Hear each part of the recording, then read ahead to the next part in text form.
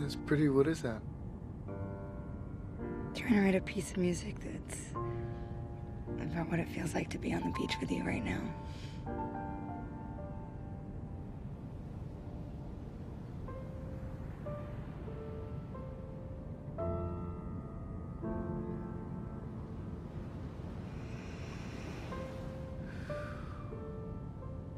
I think you captured it.